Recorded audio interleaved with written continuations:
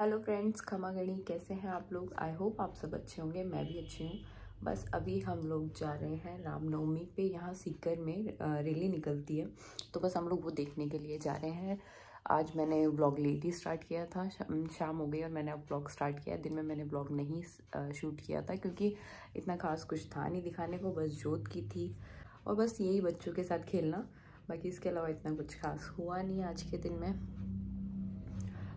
तो बस और इसके अलावा कुछ आज इतना कुछ खास हुआ नहीं दिन में तो बस मैंने शूट नहीं किया था बस अब शाम को शाम हो गई और हम लोग अभी जा रहे हैं वो देखने के लिए।